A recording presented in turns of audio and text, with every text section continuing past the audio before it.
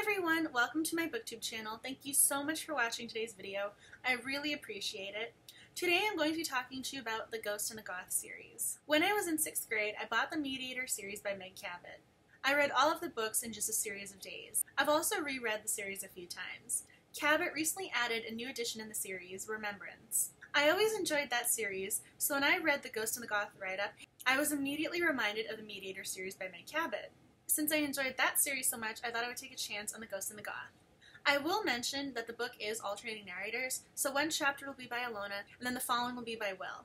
There is a growing trend for YA novels to have alternating narrators, particularly if it's a boy-girl scenario. I don't take issue with the Ghost and the Goth series utilizing this technique, however, because Alona is a ghost and Will is still human and he's a mediator, so he has his own set of problems, while Alona is coping with her death and how people are moving on with their lives around her. I believe this series was able to get away with the alternating narrators because of their different states of mind. It worked out rather well in this series. There are times when alternating narrators make me cringe, but in The Ghost and the Goth, I didn't mind it whatsoever. Alona is the most popular girl in her high school until she is run over by a bus. In a way, The Ghost and the Goth is what I imagine Regina George's life would have been if she had died in Mean Girls instead of just injured her back. The scenarios mirrored one another in a certain way for me. I immediately thought of the school bus scene in Mean Girls when Alona in The Ghost and the Goth is run over by a school bus for her death. Alona has a dominating personality and is always used to getting her way.